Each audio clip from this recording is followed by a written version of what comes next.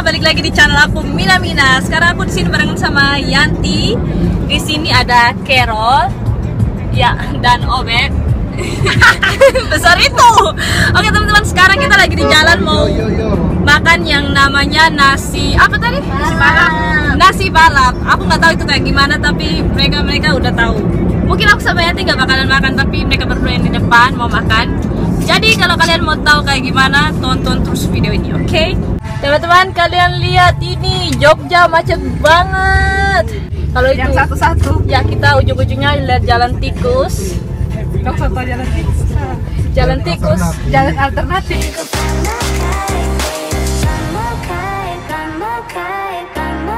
Ternyata dia tutup di sini. Jadi kita cari di GoFood tempat lain. Semoga aja kita dapat.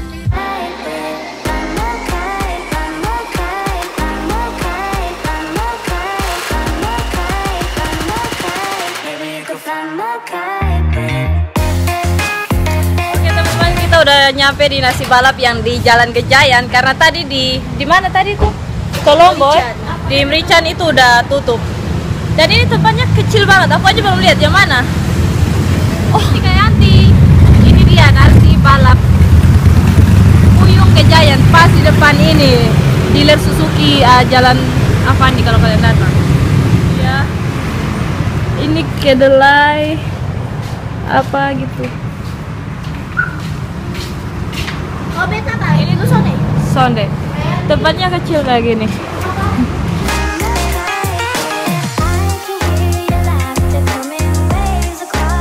Yang datang empat orang, yang makan cuma dua orang.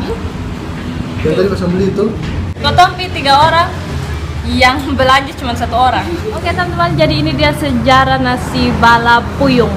Pada awalnya nasi balap identik dengan malam hari karena hanya tersedia pada malam hari untuk melayani anak-anak muda yang gemar nongkrong dan balapan di Desa Puyung.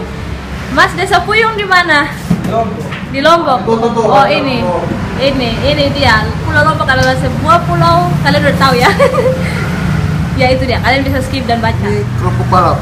Itu kerupuk balap karena bentuknya kayak roda. Perasaan cuma kerupuk kayak banyak oke ini dia nasi balapnya.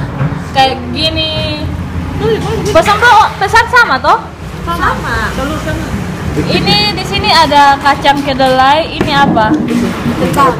Dan itu ayamnya kayak disuir-suir gitu ya sama telur. Oke ah, coba coba. Give a test test tolong kasih tau koton perasa. Recommended ke sonde. Pedis. pedis. Pedis artinya pedas ya. Oh iya karena itu semua cabe. Ini di sini semua cabe kan? Ayamnya kalian lihat tuh dari dekat. Lihat Cabe Wih, ini. enak. Cabai ini pakai ayam. orang kan paling mobil yang makan enak ya lu bilang. Enak. Coba beta mau coba. Ya kalau yang Oke, sekarang aku coba ya udah nggak makan main coba. Pas dulu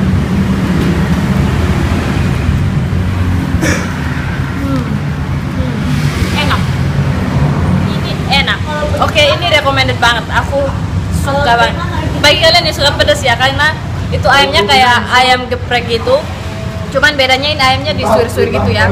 Terus dicampur sama sambal gitu pedas dan enak banget. Recommended ini di Jalan Gejayan dan mereka juga punya banyak cabang gitu. Oh,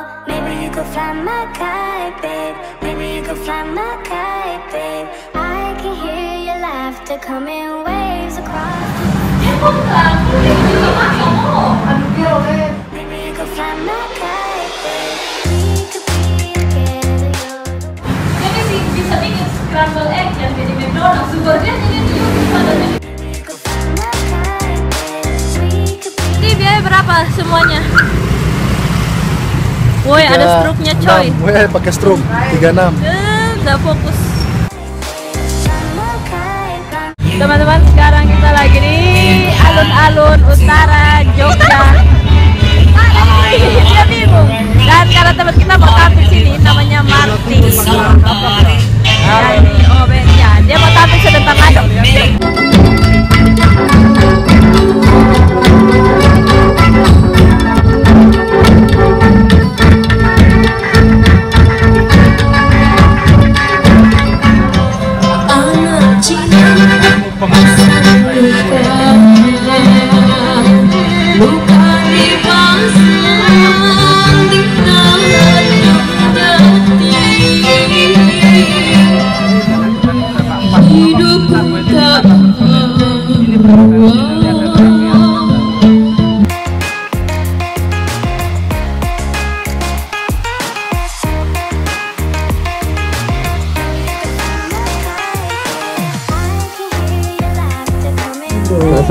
Adalah seniman eh, musisi Sasando dari Nusa Tenggara Timur. Boleh tepuk tangan untuk Mas Janser. Wah, Mas Janser. Namanya dia adalah sumber listrik ya. Janser. Nusa Tenggara Timur, Nusa Tenggara.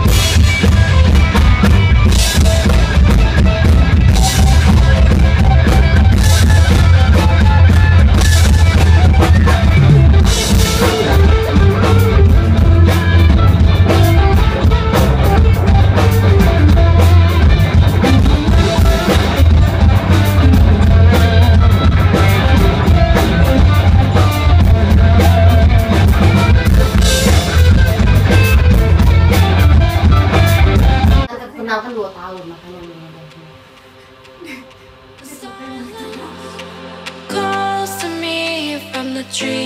Oke okay, dan ya, lihat bibirku sekarang pucat banget. Karena tadi kita coba beli ini aku coba beli ini dan mau coba pakai karena bibirku sempat kering banget. Jadi semoga dengan ini bisa kembali normal. Dan ya, itu aja untuk hari ini teman-teman. Terima kasih kalian udah nonton video ini. Jadi uh, yang tadi nasi balap itu emang enak banget, tapi kalian harus kuat pedas karena itu pedas dan ya itu aja untuk hari ini. Sampai jumpa lagi di video berikutnya. Dah.